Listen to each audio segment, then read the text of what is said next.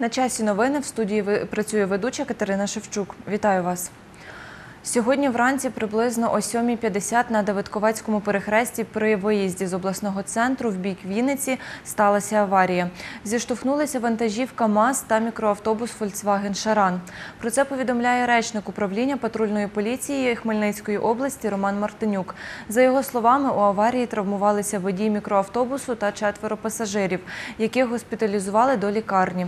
Про причини аварії та стан травмованих у наших наступних інформаційних випусках.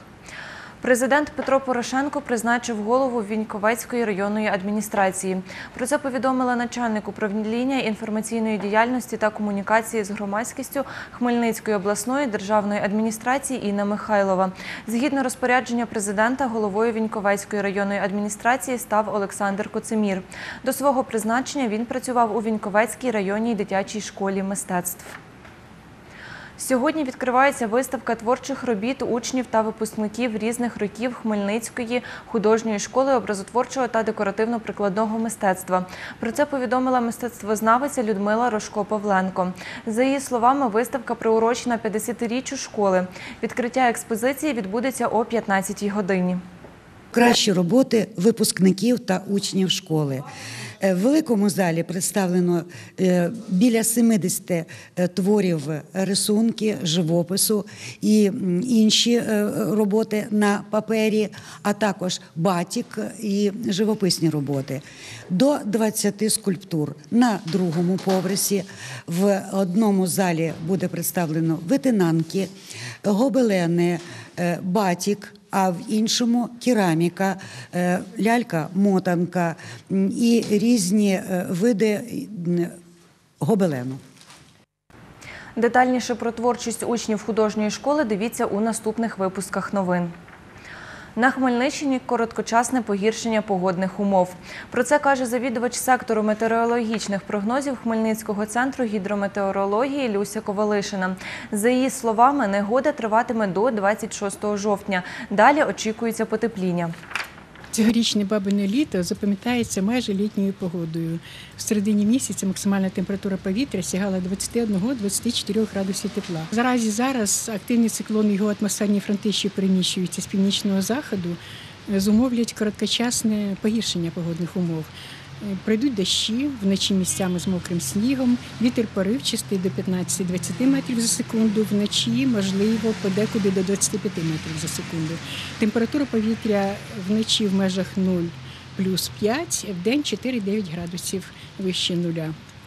Надалі з 26 і до 29 жовтня погода покращиться, послабшують опади, йтимуть уже не повсюдно, вітер ослабне до помірного і температура підвищиться вночі поступово до 6-11, в день до 14-19 градусів тепла. 27 жовтня у Хмельницькому відбудеться другий чемпіонат України з бодібілдингу та фітнесу. Проводити змагання е, проводить змагання Глобальна федерація силових видів спорту, яку очолює Руслан Сідлецький, який в очолюванні федерації увів правила. Судити змагання можуть тільки спортсмени-бодібілдери, як він сам. Зараз культурист тренується та готується не тільки до чемпіонату України, а й до змагань містер Всесвіт у Бельгії.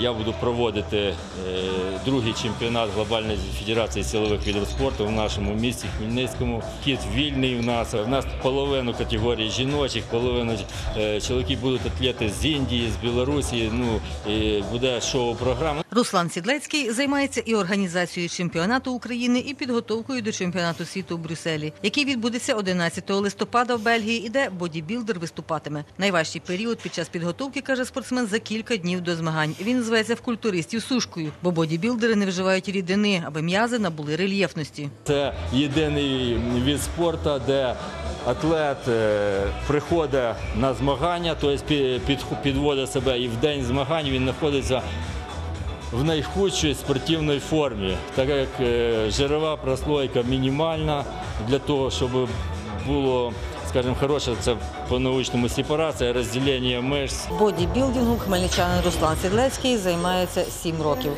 І всі ці сім років намагається не пропускати жодних змагань з культуризму, бодібілдингу та фітнесу. Він бере участь у всіх можливих версіях з бодібілдингу усіх можливих федерацій українських, всесвітніх і європейських. Він каже, що бодібілдинг допомагає йому притримуватися здорового способу життя, а також зберігає молодість і форму. Руслан Сідлецький тільки повернувся з чемпіонату світу, який проводився в Литві. Там спортсмен здобув дві золоті медалі в двох категоріях. Став чемпіоном світу в категорії пари. Е, Зі мною була е, ще в парі наша, е, скажімо, представниця нашої федерації глобальних силових видів спорту з Ніколаєва Надежда Пов. Е, І ми ще, крім цього, в другій категорії разом стали кожен своє чемпіонами світу. Е, От. Ну, можна сказати так, компактна зборна, два чоловіка, чотири золотих медалі. До чемпіонату світу спортсмен готувався чотири місяці. Чотири місяці день в день. Я бігав 5 кілометрів, розминався, е, розтягувався, потім купаюся, так як я вже морж з таким стажем більше 25 років купаюсь. Далі в мене була, я йшов на пів другого хореографія, займався е, хіп-хоп, брейкданс, щоб зробити. У мене була, ніколи не було нормальної произволки. І нарешті я доволен, що я знайшов хорошого спеціаліста і от в нього тренувався півтори години. І вечором я ще приходив в спортзал, е, займався вже такою непосередньо силовою підготовкою. У мене було три тренування в день. Світлана Поробок, Дем'ян Цегольник, новини Поділля Центр. Наразі це всі новини, які ми встигли для вас підготувати. Дивіться більше у наступних інформаційних випусках.